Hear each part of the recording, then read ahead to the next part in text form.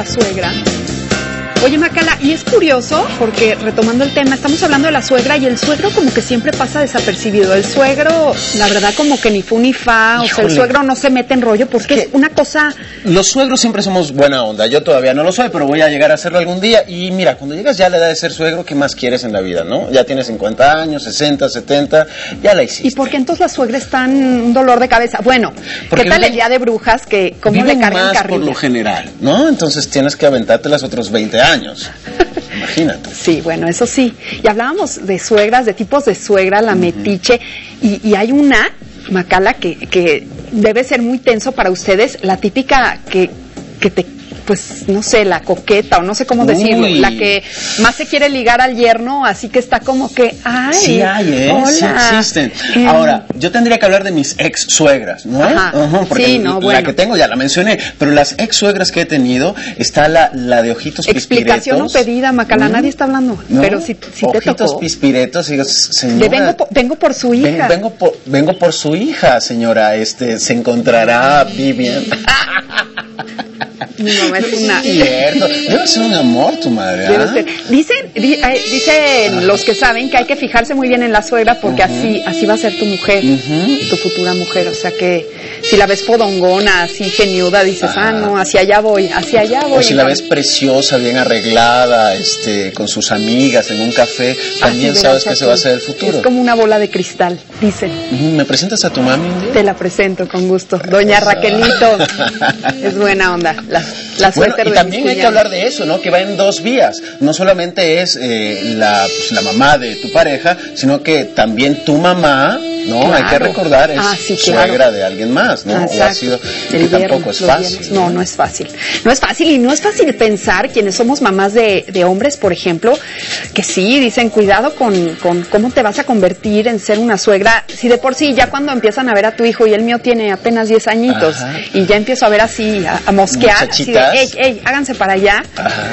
¿Cómo sería la suegra ideal, comprensiva, que tuviera ese tacto de no ser metiche, pero de sí este, ser como atenta de, oigan, ¿qué necesitan? Pero también... Necesitan condones, chicos, aquí están. Yo tengo una idea y se me acaba de ocurrir maravillosa qué tipo de suegra vas a ser. A ver. ¿no? Atención, suegra alfa. Suegra alfa, ya hablamos de este tema en otros programas. Hijo de la suegra madre. alfa es la suegra triunfadora, independiente, que tiene la Que vida los va a mantener. Los va a mantener. Ah, no. Tiene su Mercedes, su empresa. No, yo Pues quiero no lo tengo, así, pero pues si voy para allá, igual hasta sí, me los llevo a Acapulco. ¿Por qué no? Suegra alfa me encanta. ¿Qué otro tipo de suegras hay? Vivi? No, hay las suegras pesadilla. O sea, la metiche creo que es la Ajá. peor. Hay la sabelo todo, ¿no? De, ay, es que me hubieran hablado. Este, ay, no, es que eso así no se hace. Es que, a ver, ¿dónde, dónde compraste eso? No, no, no, no, no. Todo ella sabe y lo haría mejor que tú. Entonces acaba siendo de, así. Y lo sé por amigas o por hermanas o cosas así, que vas escuchando y dices, santo Dios, te- por eso te digo, de lo que te salvas. Mi- Mira, La mejor es la invisible.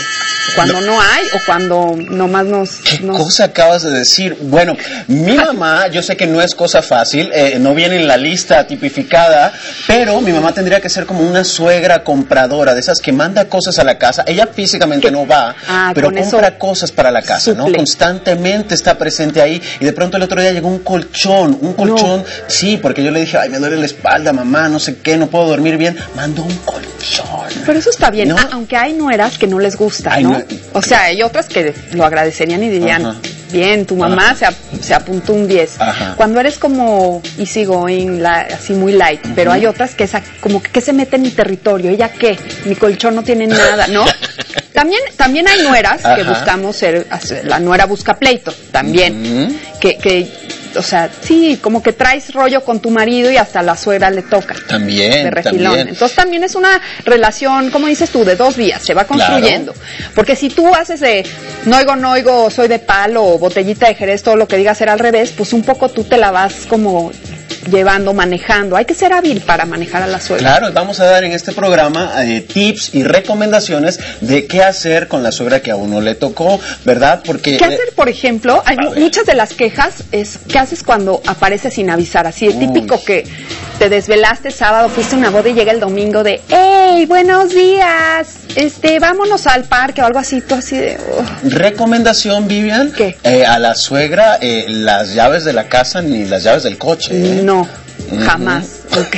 Esa es mi recomendación. Sí, no, bueno, ya sería demasiado. Otra es la que el precio y saber absolutamente, como la controladora, ¿no? De qué compraron, pero cuándo, pero a dónde se van a ir, o, o- o la que ya está integrada al plan, ¿no? La parásito, suegra parásito. Suegra parásito. Ok, suegra alfa, suegra parásito, me encanta. La parásito es la que se la Ajá. llevan hasta, o sea, La suegra- Chiconcuac, ahí va la suegra. La- me encanta. La suegra administradora, que in- invitas a alguien tal vez a casa, pero que está viendo constantemente debajo del mantel si hicieron bien el aseo, si este, oye, la, la, la señora de la limpieza, mira, Ah, creo sí, que le estás pagando de más. que- Yo, yo la, esa la catalogaría con la sabelotoda, ¿no? Pero sí, hay esa de, de, de la gendarme, hija, ¿no? La gendarme que todo le... gendarme.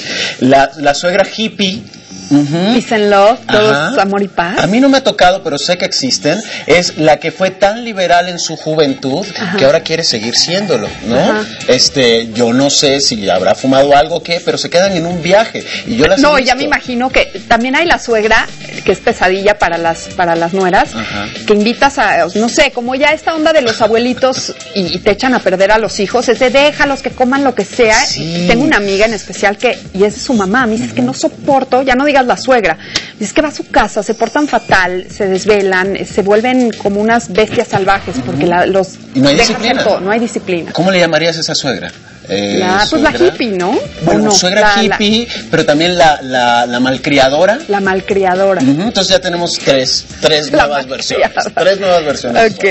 Está, pues, la anticuada, la que, ay, en mis tiempos todo era mejor, ¿no? La típica de, ay, es que nosotros, pues eso no, ¿no? La que nunca prueba y siempre está pensando en el Que, que los va a tiendas de antigüedades y dicen, este, ¿por qué compran cosas nuevas si yo tengo en mi casa una que les Exacto, regale? ay, no.